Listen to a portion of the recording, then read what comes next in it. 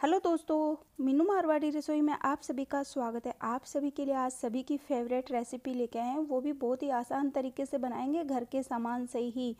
तो उसके लिए हमें ना तो कस्टर्ड चाहिए, ना ही खोया चाहिए और ना ही कोई क्रीम चाहिए। केवल घर के सामान से ही बना के आसान तरीके से ये तैयार कर लेंगे। एकदम बाज़ार से भी अच्छी, बिना किसी मिलावट के। वो भी बहुत ही आसान तरीके से और बहुत ही ज़्यादा टेस्टी। दोस्तों, आपने आइसक्रीम तो बहुत तरीके की बना के खाई होगी या बनी हुई खाई होगी लेकिन इस तरीके की इतनी टेस्टी आइसक्रीम आपने कभी घर पे नहीं बनाई होगी तो उसके लिए आप दोस्तों रेसिपी को पूरा ज़रूर देखना और रेसिपी अच्छी लगे तो दोस्तों के साथ शेयर करना। और दोस्तों, आप सभी से एक छोटा सा रिक्वेस्ट है, जो भी इस चैनल पर नए तो चैनल को सब्सक्राइब करके बेल आइकन का बटन ज़रूर दबा दें, ताकि ऐसी न्यू रेसिपी सबसे पहले आप तक पहुँचे। तो चलिए शुरू करते हैं आज की ये मज़ेदार सी आइसक्रीम की रेसिपी। तो यहाँ पे देखिए, ये मैंने कच्चा वाला एक नारियल लेके तोड़ लिया है इसे और तोड़ के हम इसे छील लेंगे। बहुत ही आसान है इसे छीलना। ये चाकू से भी आराम से छिल जाते हैं, ऐसे छोटे टुकड़े भी आराम से छिल जाते हैं, बिल्कुल भी दिक्कत नहीं आती है। तो इन्हें तो हम छील के, वॉश करके काट लेंगे। अगर आपके पास ये कच्चे वाला नारियल ना हो, ड्राई नारियल हो तो गर्म पानी में एक दो घंटा भिगो दीजिए और फिर उसे छील के आप ये आइसक्रीम बना सकते हो। तो इस तरीके से मैं सारे नारियल को छील के तैयार कर लूँगी और इसके छोटे छोटे टुकड़े कर लेंगे। और इधर छिलके भी हम एक साइड में कर लेंगे। तो यहाँ पे देखिए मैंने इन्हें छील के वॉश करके काट लिया है और इन छिलकों को आप चाहे तो चटनी बना सकते हो या ग्रेवी के अंदर भी डाल सकते हो। तो ये देखिए मैंने मिक्सी जार में डाल दिया है और इधर मैंने आधा किलो दूध लिया था, इसे उबालने के लिए रख दिया है। और इसमें उबाल अच्छे से आ चुकी है। उबाल आने के बाद इसमें हम तीन से चार चम्मच हम डालेंगे मिल्क पाउडर। मिल्क पाउडर से बहुत ही अच्छा टेस्ट भी आएगा और दूध भी हमारा गाढ़ा हो जाएगा। ये ऑप्शनल है, अगर आप ये नहीं डालना चाहते हो और कस्टर्ड ही डालना चाहते हो तो डाल सकते हो, लेकिन आज हम बिना कस्टर्ड के बना रहे हैं, बहुत ही टेस्टी। तो ये दूध डाल देंगे इसके अंदर ठंडा, गर्म दूध डाल के इसे अच्छे से मिक्स कर लेंगे। गर्म दूध के अंदर हमें बिल्कुल नहीं डालना है इसे, नहीं तो लम्स हो जाएँगे और इसे ठंडे दूध में अच्छे से मिक्स करके डालेंगे इस तरीके से तो बिल्कुल भी लम्स नहीं होंगे। तो इसके अंदर डालते जाएँगे और इसे हिलाते रहेंगे दूध को, नहीं तो ये नीचे चिपक जाएगी।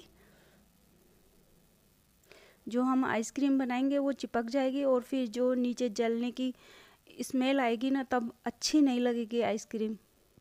तो इसे बीच बीच में आप हिलाते रहें और इसे चार से पाँच मिनट अच्छे से पका ले, दूध गाढ़ा होने तक पका ले। और इधर मिक्सी जार में मैंने पहले थोड़ा दूध डाल के इसे पीस लेंगे। और यहाँ पे मैंने साबुत इलायची के दाने लिए हैं, वो इसी के अंदर डाल देंगे ताकि अच्छे से पिस जाए इस नारियल के साथ। तो ये देखिए, इस तरीके से हम थोड़ा थोड़ा दूध डाल के पीसेंगे इसे। इसमें तीन चार चम्मच और दूध की डाल के अभी और पीसेंगे, थोड़ा और बारीक करना है इसे। तो इस तरीके से ये आधी कटोरी के लगभग हमारी इसके अंदर दूध की लग गई पीसने में। और इसे पाँच छः मिनट हो गई है पकते हुए मिल्क पाउडर डालने के बाद। तो ये नारियल हमने अच्छे से पीस लिया, एकदम बारीक, और इसी के अंदर डाल देंगे दूध के अंदर इसे डाल देंगे, अच्छे से, सारे को अच्छे से डाल देंगे। और इसे अच्छे से मिक्स कर कर इसके अंदर हम चीनी अपने स्वाद के अकॉर्डिंग डाल देंगे।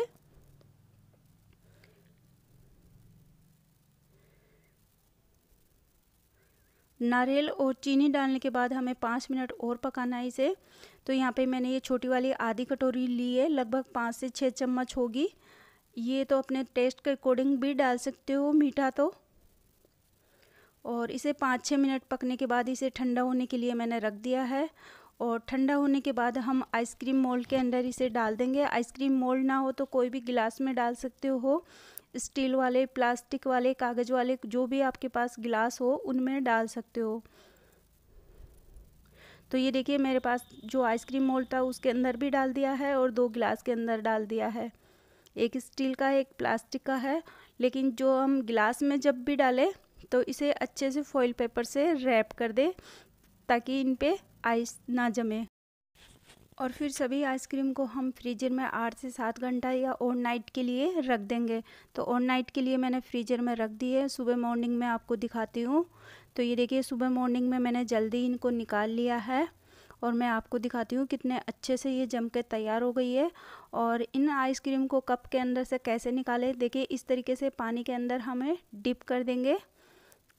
बस तीस सेकंड भी नहीं लगती पानी के अंदर, इस तरीके से हम डिप कर देंगे और आराम से निकाल लेंगे। जब हमें अच्छे से पता नहीं आइसक्रीम को कैसे निकालें तो ऐसे ही हम निकालने लग जाते हैं तो थोड़ी मुश्किल हो जाती है निकालने में। तो इस तरीके से पानी में डिप करके हाथ से ऐसे घुमा दीजिए। बहुत ही आसान तरीके से ये निकल जाती है आराम से बिना दिक्कत के। तो ये देखिए, बहुत ही आराम से मैंने बिना दिक्कत के इन्हें निकाल लिए और ये देखिए कितने शानदार लग रही है हमारी आइसक्रीम।